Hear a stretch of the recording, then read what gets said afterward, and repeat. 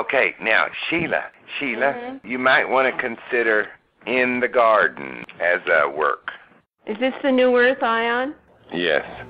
I had a dream, a dream about you, baby. This world is changing. You, you have no choice but to come back into your place of power. Period. Everything you're trying to do to make this world a better place is the culmination of the changing of this world. We're saying that the constructs of the world, the foundations of this world are coming back to where they were when you separated yourself from your power. And you have a choice to either come back into your place of power or it will be over for you soon. The tree of life becomes a significant phenomenon because this is the tree of life that lays out in the earth. It's the connection between the soul and the tree of life that makes the connection back to God possible at all. If there were no tree of life, and if there were no soul, and if you're a God and you separate yourself from your power, you never get back. The roots of the tree go into the earth. The branches of the tree go toward heaven. The trunk in the middle is a representation of the triangulation of you and your state as God. And if you aren't, you can then look at the tree, which is well founded in the dust of the earth, and allow you then to have a glimmer to find your way back to God. In the tree of life, there's a sword protecting it. The tree of life is guarded by a sword. That's the big picture. That's what you're trying. That's the remembrance for you. Complete 144,000 Okay. double yeah. helix element. If you get the fruit of this tree, you have eternal life. And you say, Great, congratulations, that's what I'm not, but I want to be. Or I want to get the fruit from it. Well, there's a sword saying, Hell no. So now we're taking it through. And if you can figure out how it all connects together, you only have one double helix strand. Well, if you can follow that branch from where you are all the way back to the trunk, then you can get back to God oh, at the okay. 144,000. Pearl, pearl, pearl. What we're talking about is the the pearl colored fruit on the tree of life. Within the nacre, within the nacre of the pearl, do you know the size or the shape or the size of the hypothalamus? I don't know if it's a pea size. It's the size of a small pearl. Oh my gosh. Sometimes it is a, a bit of a cone shape, like in the freshwater Right. pearls with a little elongation. And the nacre within that makeup. Yeah. You were talking about the nacre around it.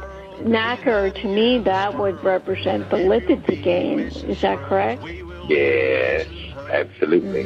Now the holy.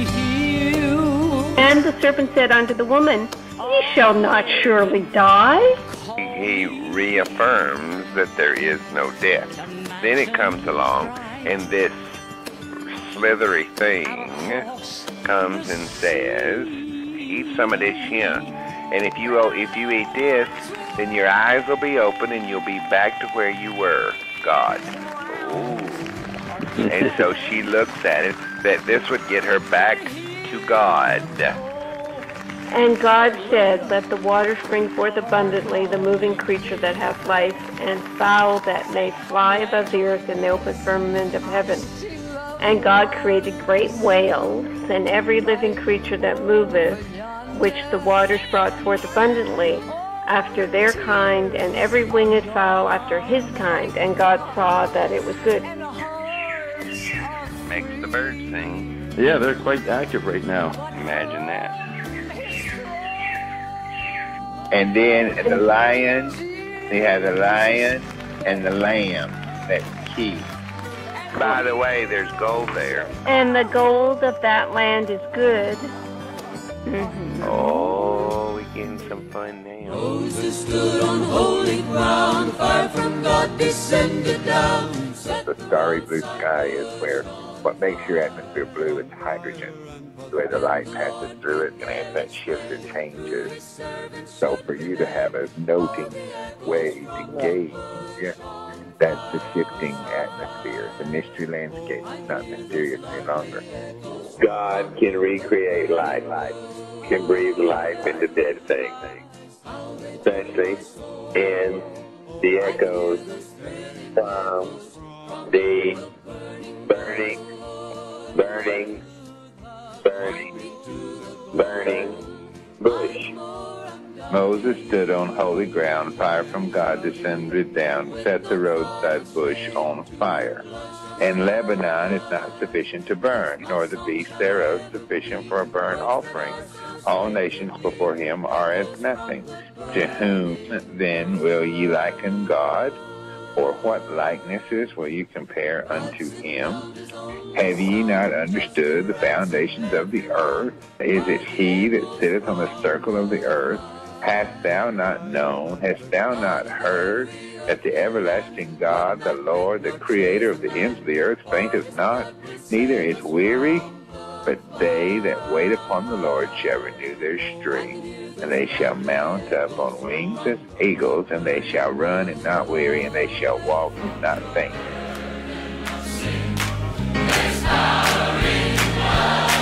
There's power in the blood of the Lamb. There's power in the blood. The end stains are lost in a life-giving blood. There's wonderful power in the blood. Remember, we're very, very, very funny about power versus authority. Now, the reference in the blood in the marriage supper of the Lamb, there's wonder-working power in the blood of the Lamb. So if you weren't offended and you could find some lamb blood, it would give you the reference of what your blood should look like. And is the color a certain way? It is different than regular whole plasma. You will recognize ascended blood by looking not at human plasma, at the blood of the Lamb. To the river of Jordan, And a river went out of Eden to water the garden, and from thence it was parted and became into four heads. Very interesting that a river goes out of a garden to water the garden. This is significant. A river goes out of Eden, and it goes out of Eden to water the garden. And from thence it was parted, that's the river, and it hmm. became four heads.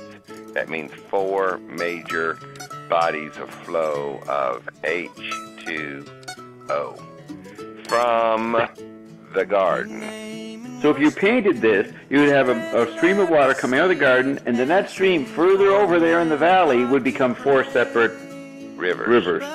The issue of the River Jordan is it's going to flow and change the way water is known.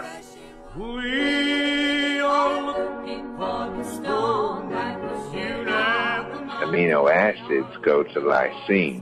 Lysine goes into the perforated lining of the cellular walls that allows the body to magically or allows the rings and the arms of chromosome 14 to open. It's the key.